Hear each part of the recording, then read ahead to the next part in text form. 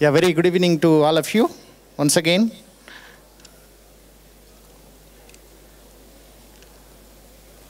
Right, so you have been listening to several sessions since yesterday.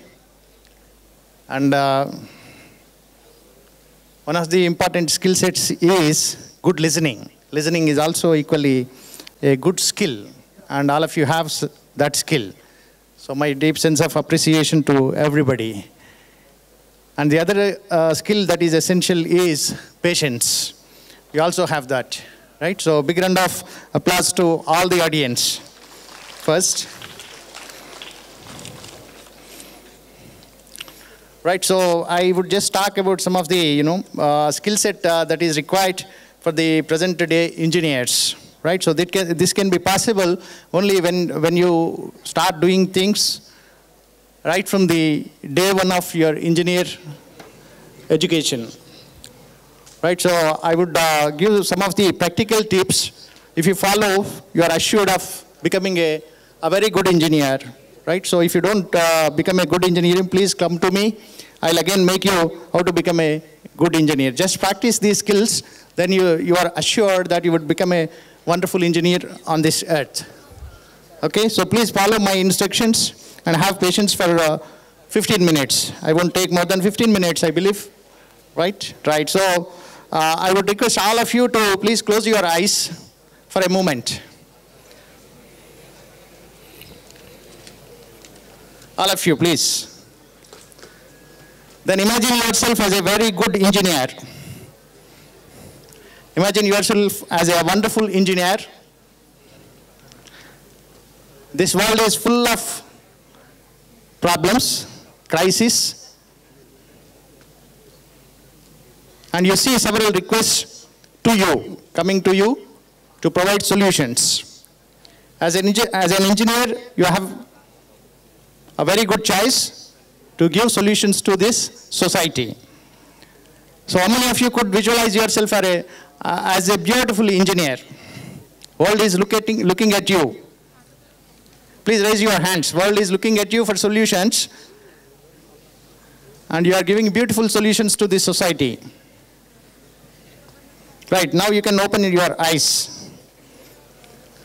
Anything on this earth happens only twice. One in dreams and imagination, and second is in reality. So if you cannot imagine, believe me, if you cannot imagine, then you, can, you cannot really achieve it. If you cannot uh, imagine it, then you cannot achieve it. Whatever you could get, whatever the success without your imagination is only an accident. It is only an accident, but not because of your effort. Your imagination is the witness of your effort. So knowledge is one aspect and imagination is other dimension. So if you have more imagination than your knowledge, that is what is essentially required for an engineer. The other set of skills, which is one of the inquire, uh, important, is spirit of inquiry. Everybody should have a nature of inquiring things.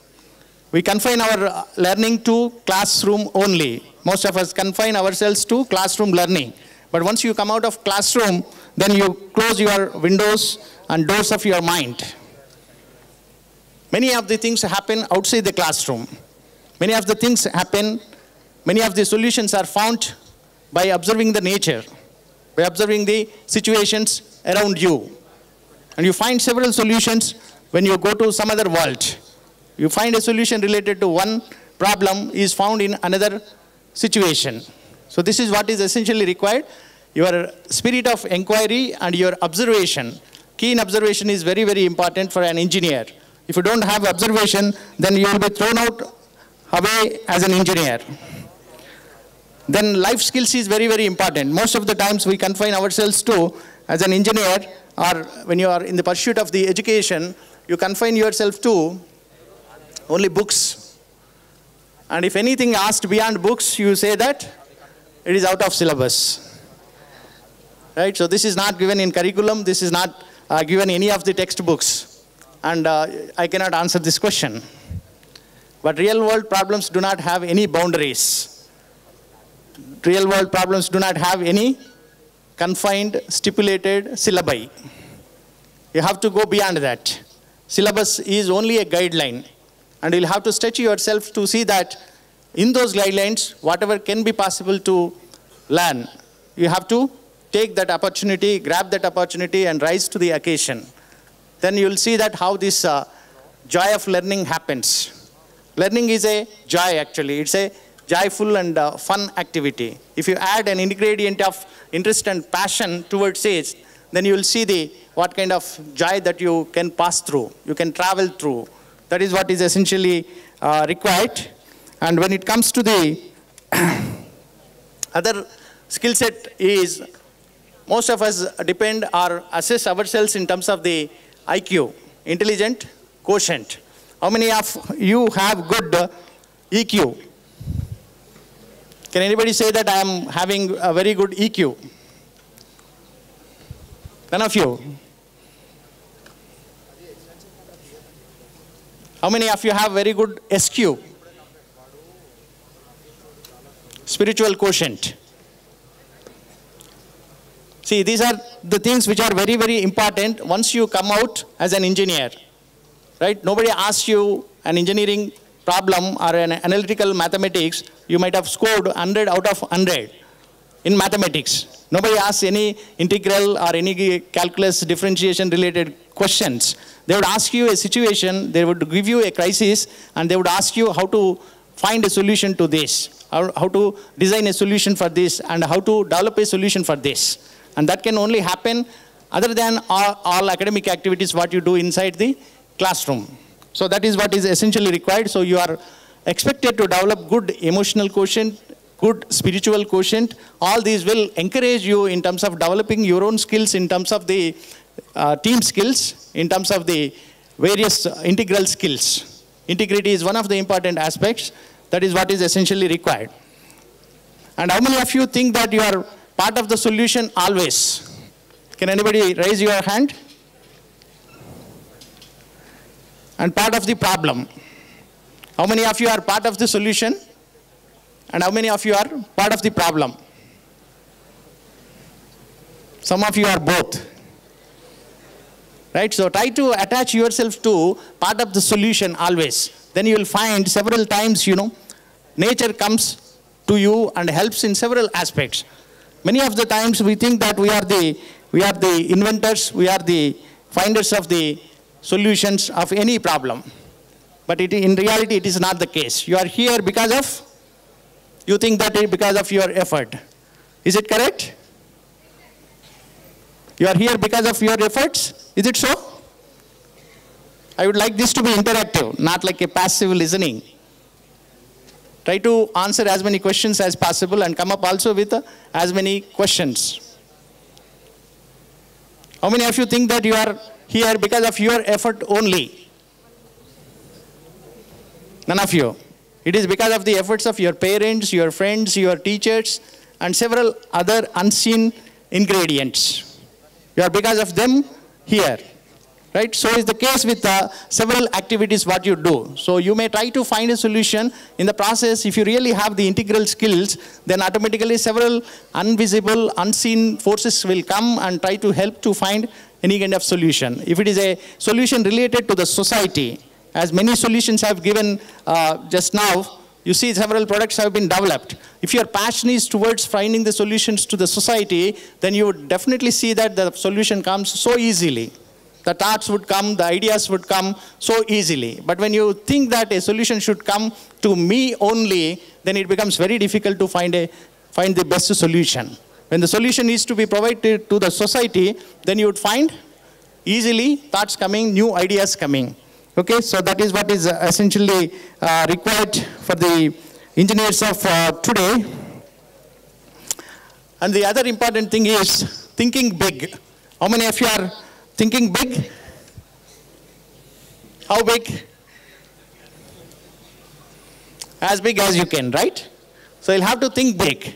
Surprisingly, the energy that is required to think small and also the energy that is required to think big is the same. Okay?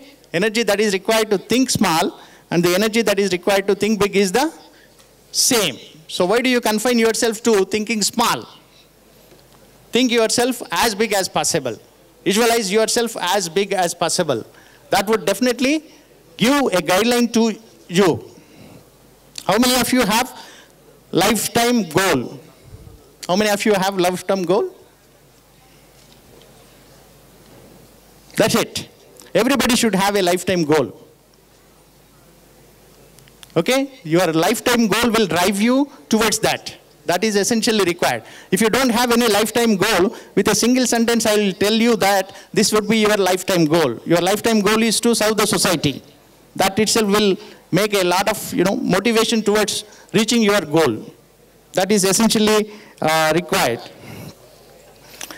And then, in terms of the technologies, if you try to see, continuous learning is one of the important aspects.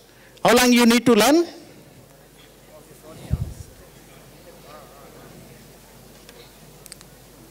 How long? Wonderful. Till your last breath. That's a wonderful thing. So if you want to be alive as an engineer, then you have to learn from every moment. For every moment, every situation, every surrounding. You learn from everybody. Living things, even from non-living things also. So that should be your perception in terms of continuous learning. So for any human being, right? So for a human being, life is lost if there is no breath, right? And for an engineer, for a learner, life is lost when you stop learning. For any human being, life is lost when somebody stops breathing. And similarly, for an engineer, life ends when you stop learning. When you stop learning, then life ends.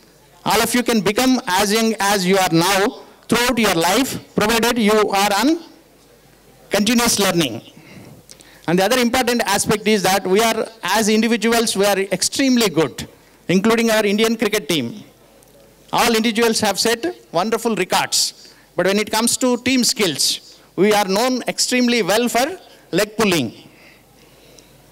Right? So if whether you win or not, you would see that others would, should not win.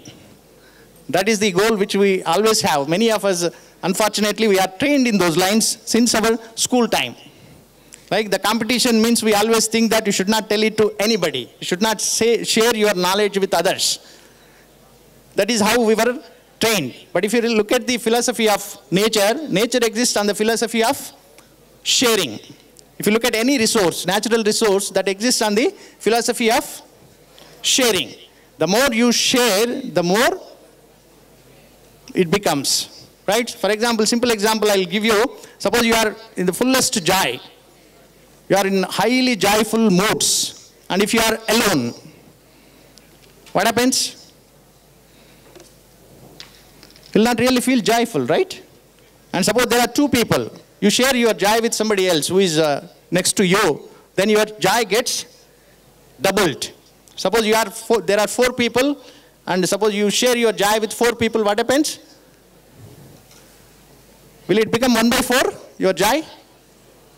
it will become four times. And suppose there are 10 people, it becomes 10 times. So what's happening? When you are sharing your jai, it's not getting divided. It is getting multiplied. So is the case with the knowledge. When you share, with, uh, share your knowledge with others, it will get multiplied. It will not get divided. So wherever you get an opportunity, try to share your knowledge with others. It makes you learn more. It's not that you are just trying, transferring your knowledge to others, but you are also equally getting reciprocated. Your knowledge will also get doubled the more you share, right? So that is how you should be. And uh, the other important uh, aspect is in terms of the imagination, you should try to imagine in the situation that wherever you get any kind of problem, you try to find solutions to this. Because you are a computer science engineer, you always try to confine yourself that whenever there is a computer science problem comes, then only I'll try to find a solution. Similarly, you have an uh, electronics engineer, he tries to find a solutions to only problems related to that. But the, if you just come, uh, come to the real situation, real world problems do not have boundaries. Stating that I belong to only computer science department or I belong to only EC department. Only that engineer should come to me and try to find the solution to it. The present trend is that interdisciplinary and multidisciplinary learning. You may be good at one particular school of thought, or you may be good at one particular engineering subject. But there are some other people who are good at in the respective domains, and you have to collaborate. You have to find, you have to find a solution to see that all expertise is converge. So that's how you can find the best solutions possible. So now the trend is you have an expert in one domain, you have another expert in another domain, then you have to collaborate, try to find the solution. That is how the interdisciplinary and multidisciplinary approaches are required. One good example is uh, an aircraft. If you look at an aircraft, how many different disciplines are in, involved? Engineering disciplines. You see mechanical, you see aeronautical, you see computer science, you see electronics, you see electrical, and several branches of engineering are put into one particular aircraft. So is the case with uh, several real world things. So you have to collaborate in those lines. And I'm sure all of you believe in the continuous learning, that's what I said, and the literature that is transforming from time to time. Those were the days only you are confining yourself to hard copies of the literature. Now the trends are again changed. You find several PDFs and you find several video lectures and several resourceful, useful websites are possible where you can also have learning happens online, not only offline, and learning also happens online. And uh, at the same time, you can also have dongles. These days you can find uh, several video books possible. And uh, future trend is audio books. You'll get the audio books. You, while traveling, you can just listen to them and you can have, grasp the subjects just like what you do with your several uh, you know, songs and things like that. So you can always have such kind of provision and future is in terms of the technology is at your doorsteps. You don't have to go to the technology. Technology will come to you, but at the same time, you'll have to organize the technology. I always say that, you know, the technology is for human beings, for the progress of the society, for the advancement of the society. But unfortunately, what's happening these days is that we have become as tools in the hands of the technology.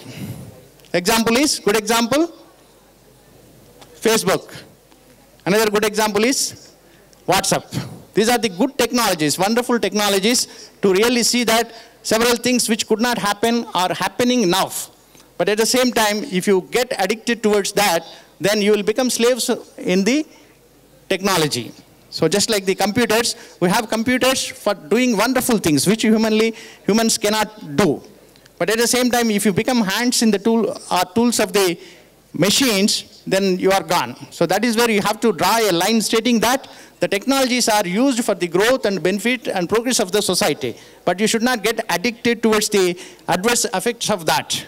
Most of us are uh, you know, uh, falling in those lines. One of the examples is that in the Western education or in the Western uh, uh countries, if you look at, we always move towards the uh, unsignaled zone to signal zones. We see that, you know, ting, ting, two, two signals come, three signals come. And we try to move towards the high signal zone. The trend in the Western countries these days is that you move from signal zone to non-signal zone. So if you go to the non-signal zone, you feel that you are safe. You don't have any distractions of your holiday trip or anything like that. And there are several de-counseling. De-counseling centers are coming in terms of the, you know, de-addiction whatever the addictions that you have. If you don't get a, uh, you know, a message or something for five seconds, you become so unrest. What's happening with my device? Is anything wrong with my device? So that is what is the addiction of the technology, which will also give adverse effects. So you have to draw a line in those, li in those terms in the sense that utilize the technology for the benefit of yourself and also for the benefit of the society. So I'm sure all of you would take the same spirit in terms of the learning.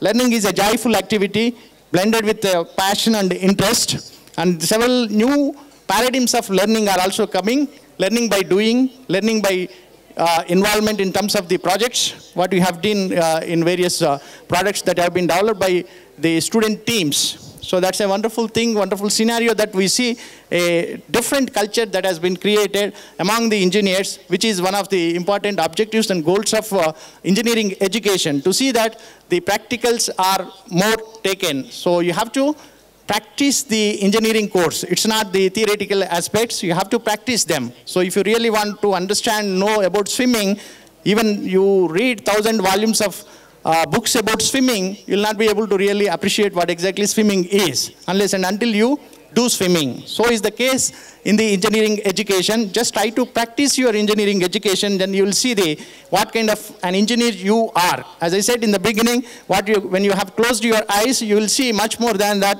what you could have imagined. Okay, so with these few words, I think uh, uh, all of you would follow these words, and uh, you know, there is another concept is called uh, learn, unlearn, and relearn. So this is another school of thought which is required because the, the memories of the devices are increasing day by day, and our memory is going down day by day. So that is where you have to do. And finally, I would say that you know, we know what we know, we don't know what we don't know. We know what we know, we don't know what we don't know. Aim of our life is to know what we don't know. Happy learning. Thank you so much.